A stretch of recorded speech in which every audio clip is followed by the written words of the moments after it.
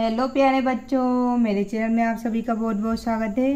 तो बच्चों, इस वीडियो में हम कक्षा पाँचवीं का एमपी बोर्ड का गणित है, जिसका चैप्टर सेवन है, क्या तुम्हें पैटर्न दिखा? इसके क्वेश्चन आंसर हम इस वीडियो में सोल्व करेंगे।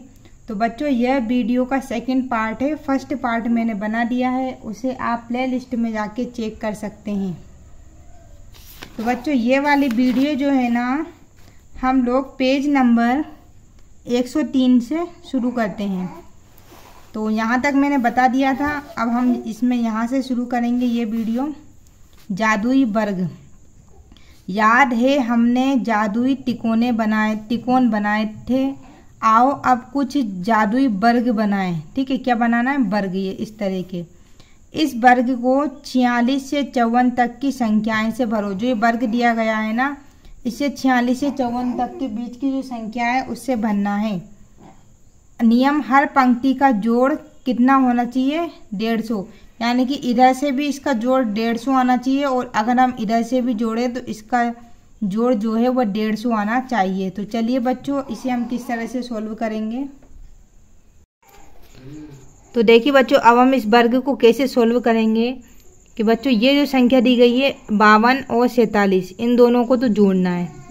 बावन, सैतालीस को जोड़ेंगे और उसका भाग फिर हम डेढ़ सौ में से उसे घटा देंगे। ठीक है? डेढ़ सौ में से हम उसे घटा देंगे। देखिए किस तरह से हम इसे करेंगे। तो चलो करते हैं, देखो, यहाँ लिखते हैं सैतालीस और यहाँ लिखते हैं बावन। इनको जोड़ते हैं।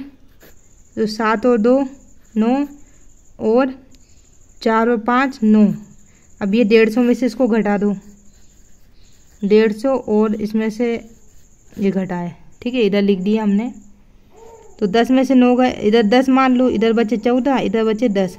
दस में से नौ गए तो एक बचा, और चौदह में से नौ गए तो कितने बचेंगे? पाँच। तो ये जो इक्यावन आ रहा है, वो हम इधर लिख देंगे। इसी तरह से इन दोनों को जोड़ेंगे, ये वाले को, इन दोनों को जोड़ेंगे हम। और फिर हम उसमें, डेढ़ सौ में से उसे घटा देंगे। ठीक है बच्चों? अब देखो बच्चों, अब हम क्या करेंगे? छियालीस और इक्यावन को जोड़ लेंगे और फिर 105 में से उसे घटा देंगे तो ये आंसर आ जाएगा। तो देखो, इधर जोड़ते हैं हम। छियालीस और इक्यावन। कितने हो गए? छः और एक सात, चार और पाँच, नौ। कितने हो गए? नाइन्टी सेवन अब एक सौ पाँच में, एक सौ पचास में से नाइन्टी सेवन घटाएँगे तो हमारे आएगा फिफ्टी थ्री एक बार घटा दीजिए। देखिए। ये हो गए दस, ये हो गए चौदह. दस में सात गए तो तीन बचे।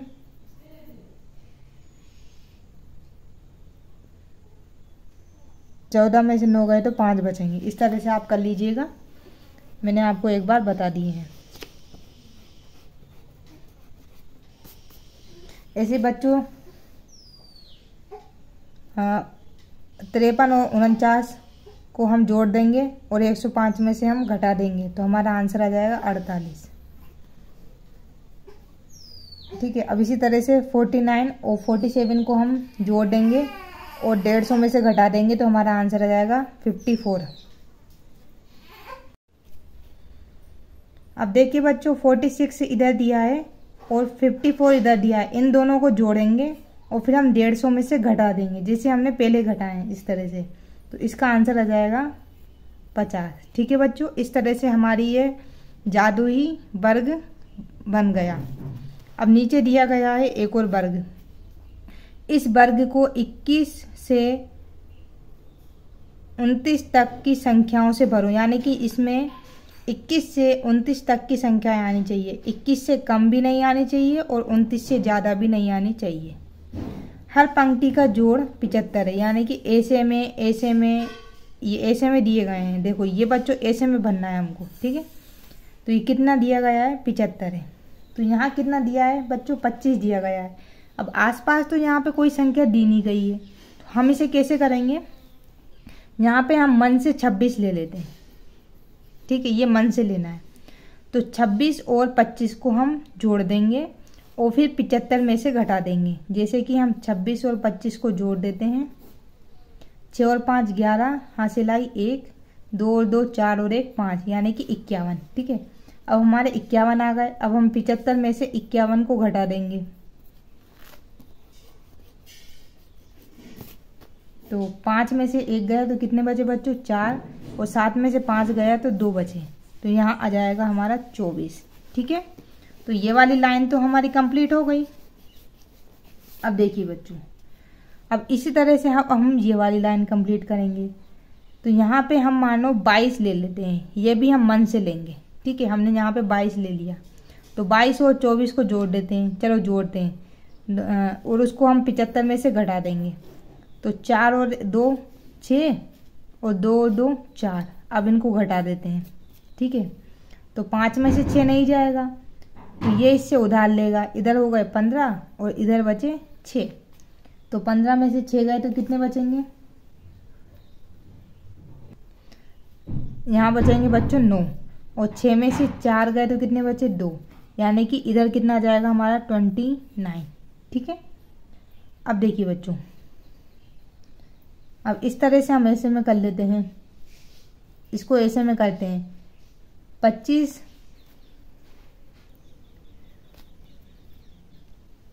इस तरह से बच्चों पच्चीस और बाईस को जोड़ देते हैं और पिचहत्तर में से घटा देते हैं। तो पाँच और दो कितने हो गए? सात। और दो और दो कितने हो गए? चार। तो इधर कितने हो गए? सात। मतलब जो पाँच में से सात नहीं जाएँगे तो पाँच जो है सात से एक उधार लेगा तो इधर हो जाएँगे पंद्रह। और इधर बचेंगे छः तो पंद्रह में से सात गए तो कितने बचे? आठ। और छः में से चार गए तो दो बचे। इधर आ गए बच्चों अट्ठाईस। अब छब्बीस और अट्ठाईस को जोड़ देंगे। ठीक है? और फिर हम पिचहत्तर में से उसको घटा देंगे। तो पिचहत्तर तो लिखा रहने दें हम। चलो इधर लिख लेते हैं पिचहत्तर। इधर ख़राब हो गया है पेज।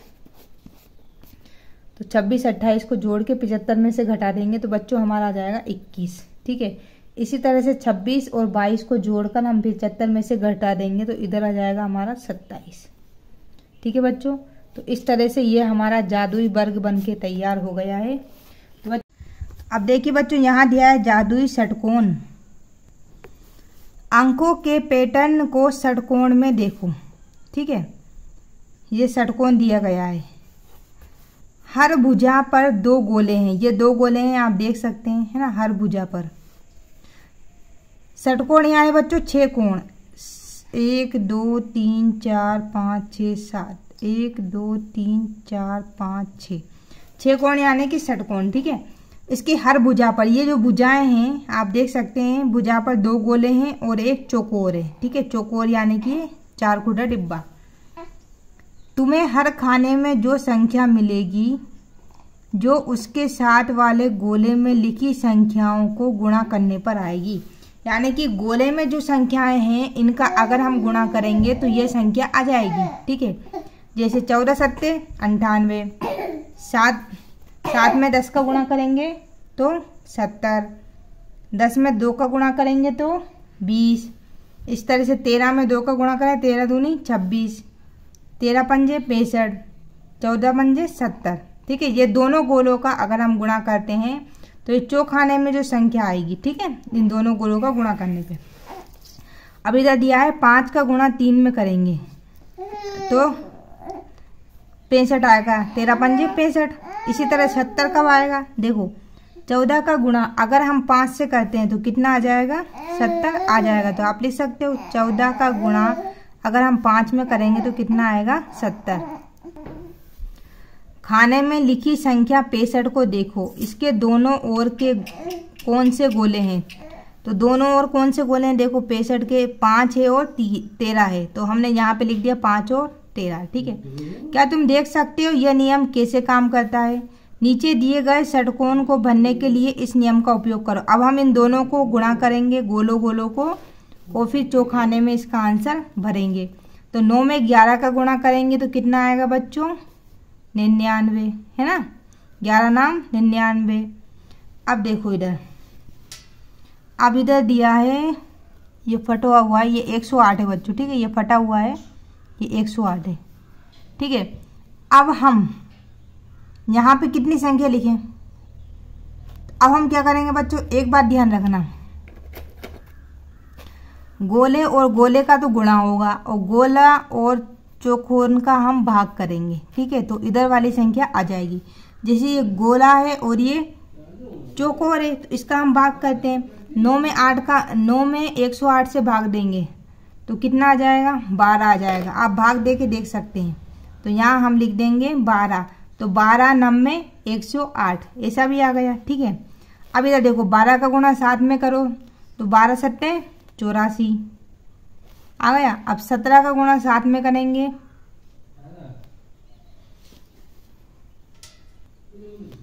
अब इसी तरह से सत्रह का गुणा सात में करेंगे तो सत्रह सत्ते, एक सौ उन्नीस।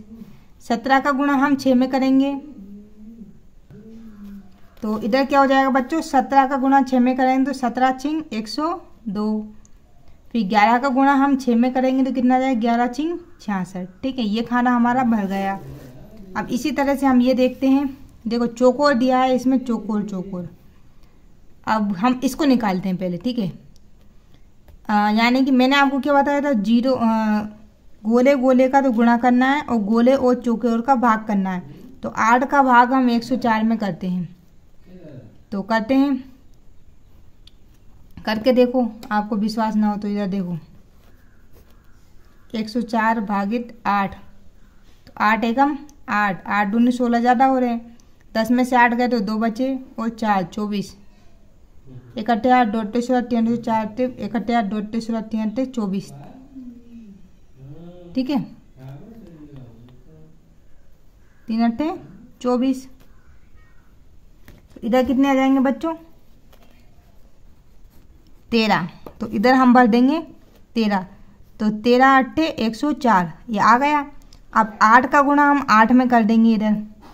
तो आठ अठैया चौंसठ। ठीक है, अब देखो, इसमें गोला दिया है, ना इसमें चौकोर दिया है, ना तो अब इधर देखते हैं। ये दिया है चौखाना और ये दिया है गोला, यानी कि इनका भी हम भाग करते हैं। तो तेरह का भाग हम अठहत्तर में करेंगे। तो तेरह छिंग अठहत्तर होता है तो इधर हम छः लिख देंगे, ठीक है? अब छः का गुणा चार में कर दो गोले गोले का गुणा करेंगे छः अट्ठे, ए छः चौक चौबीस। चौबीस आ गया। अब चार का भाग हम छः में दे देते हैं चौंसठ में। तो चार का भाग चौंसठ में दो। देखिए, इधर मैं देख के बताती हूँ, चार का भाग हम देंगे चौंसठ से। तो चार एकम चार चार दूनी आठ ज़्यादा हो जाएगा। तो छः में चार गए तो दो बचे, इधर हो गया चौबीस। ठीक है? तो इधर कितना जाएगा? एक चौक चार, दो चौका तीन चौक चार पाँच चौक बीस छः चौक, चौबीस। कितना आ गया बच्चों? सोलह आंसर आ गया। यानी कि हमने अगर चार, चौसठ में चार से भाग दिया तो कितना आ गया? सोलह आंसर आ गया, ठीक है? अब सोलह अट्ठे, सोलह का आठ में गुणा करो। तो सोलह अट्ठे बच्चों कितने होता है? एक सौ अट्ठाईस। देखो, भरा गया हमारा जादुई। षटकोण ठीक है? अब चलिए बच्चों अब हम आगे देखते हैं। क्या दिया है? संख्या ही संख्याएँ ही संख्याएँ। तो यहाँ दिया है देखो चौबीस उन्नीस सैंतीस। फिर इनका आगे पीछे कर दिया बस इसका और कुछ नहीं है। तो इसको सैंतीस कर दिया चौबीस इन्होंने बीच में लिख दिया और उन्नीस। वही का वही सिर्फ़ संख्या इसमें आगे पीछे कर दी है। इसी तरह से देखो 215, 120, 600 तो 600, 100, 215 और 120 इन्होंने पीछे कर दिया। क्या ये बराबर है? तो बिल्कुल बराबर है। जो संख्या इधर है जो संख्या ही इधर है। बस क्या है ये संख्या क्या है? आगे पीछे कर दी है ठीक है? खाली स्थान खाली स्थान को इसी तरह से भरो। अब इसी तरह से हमें खाली स्थान भी भरना है ठीक है? तो जो संख्या छूटी है ना बच्चों वो भर देना। देखो इधर दिए चौदह तो इधर हम भर सकते हैं चौंतीस। इधर क्या दिया है? चौंतीस और बीस दिया है तो इधर भर देते हैं चौंतीस और बीस। अब देखो, इधर दिया है बयालीस। तो ये बयालीस हम इधर भर देते हैं और ये पैंसठ हम इधर भर देंगे, ठीक है? पैंसठ और ये अस्सी नहीं है तो अस्सी भी हम इधर भर देंगे। बस ऐसे ही करना है, जो संख्या छूटी वो भरना है। दो सौ, तीन सौ तो पहले हम इधर भर देते हैं दो सौ, इधर भर देते हैं तीन सौ। अब इधर क्या नहीं है, चार सौ तो ये चार सौ हम इधर भर देते हैं, बस। ऐसा ही इसमें करना है। अब देखें, अड़तालीस गुणित तेरह यानी कि तेरह का हम अड़तालीस में गुणा करते हैं। ठीक है? तो बच्चों, इसका तेरह का हम अड़तालीस में गुणा करते हैं तो आएगा छः सौ चौबीस आंसर। तो इसी तरह से अड़तालीस का गुणा तेरह में करो या तेरह का गुणा अड़तालीस में करो। आंसर हमारा क्या आएगा? छः सौ चौबीस ही आएगा। ठीक है? तो क्या ये बराबर है? जाँच करो यह ठीक है या नहीं। तो लिख देंगे हाँ यह ठीक है। बराबर है। इतना आप इसमें लिखना है ठीक है?